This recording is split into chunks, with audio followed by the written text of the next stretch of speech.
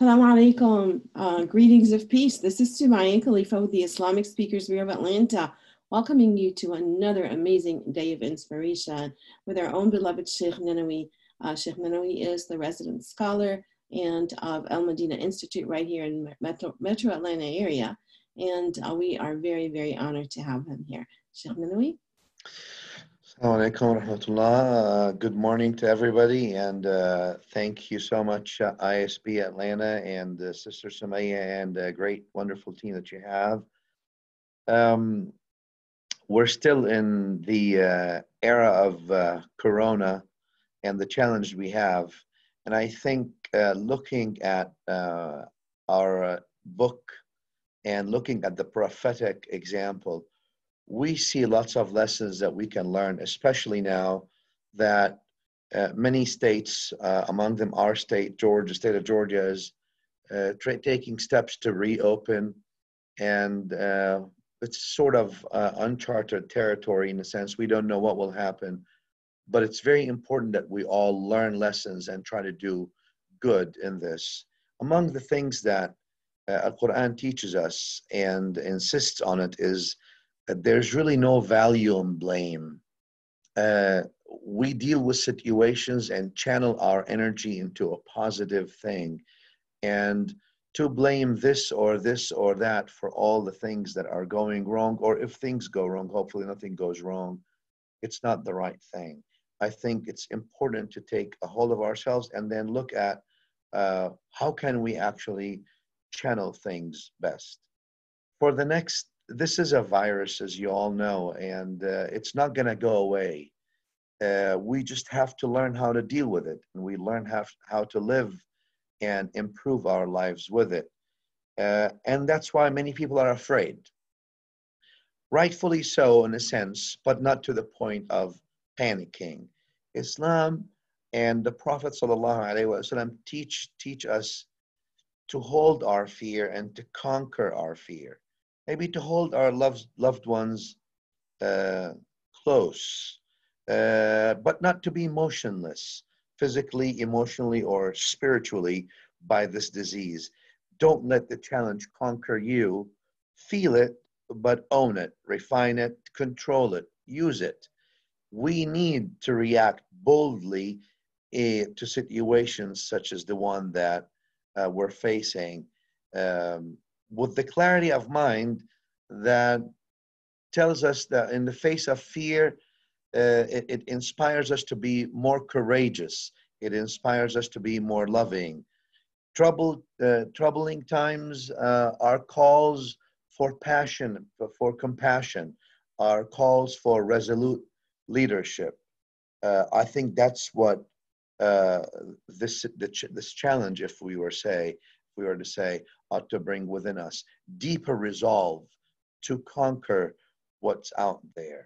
And Islam, interestingly, interestingly, as you all know, where Allah in the Quran says, "Idfa billati ahsan," has a view of anything that's negative can be offset by positive.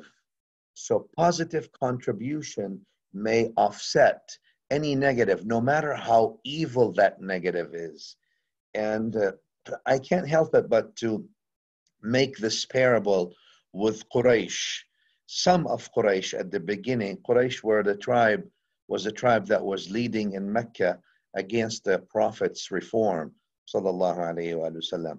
And um, they did everything possible, obviously, not just stop the reform, but to uproot it, to burn it, and to kill everyone that they're able to kill. And obviously, in a tribal society, they killed the most vulner- vulnerable um, instead of helping them. Uh, they pursued them, they killed them, they confiscated their properties, uh, targeting, obviously, in particular, the weakest among the weak. And uh, the Quran and the prophetic example um, showed us uh, their action, juxtaposing the meekness of the Muslim people uh, with the pure cruelty of Quraysh.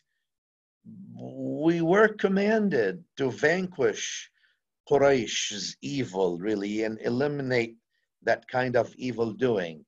And that happened through positive contribution. That happened when the Prophet ﷺ gave those who deprived him. That happened, uh, the vanquishing happened when the Prophet ﷺ extended a hand to those who were ready to cut hands off. That happened when the Prophet ﷺ was smiling and, and giving mercy and compassion to those who were trying to spell evil around. Uh, I think the corona itself, the disease, since it's attacking and trying to get to the most, uh, the, the weakest, to the elderly, to the immunocompromised, to people who have other conditions, I think we can take a parable there by protecting and supporting the most vulnerable of people today, whether physically, obviously, or emotionally around the world. I always say if we feel, uh, if we fail, sorry, if we fail to identify with the suffering of any living thing, any living entity, irrespective whether it's human or not, and that includes our earth, then we have not just betrayed our faith, but we have failed the test of our time. And so we have the ability to live up to the prophetic example as an opportunity today uh, that, that we're having. Um, tensions among communities are running high uh, here, there, everywhere. Uh, we must learn from all this a lesson that the Prophet ﷺ taught us 14, some hundred years ago. We may be different colors, different ethnicities, different backgrounds, different cultures, different religions. At the end of the day, he tells us, sallallahu alaihi wasallam, that we are one people, kullukum li Adam. And that means lessons of interdependence. Uh, uh, the coronavirus issue now may, may demonstrate the profound ignorance of the belief that we keep ourselves safe by separating from our neighbors and from those who are in those who are in need and let everyone fight their own battle. That's not how it is. We're seeing more and more cooperation among communities and nations uh, sending things to each other uh, whether it is medical supplies or other things but we all can do something uh, because in a world that's interconnected as as ours we keep ourselves safe by respecting the truth revealed uh, in, in science and by cooperating and working together within and amongst our communities, uh, by caring for the most uh, vulnerable amongst us, and by creating a society that keeps as many of us uh, as possible healthy, uh, spiritually strong, and helping. It's never us versus them, it's all us here. It's a profound sense that there's only one. There are no other races on this earth. There's only human race. If you don't believe me, take a trip to space and we will find that out. That's the only sane path. The only sane path is the prophetic path, which is compassion, justice, and humility about the degree to which we need each other. Thank you so much and have a great morning.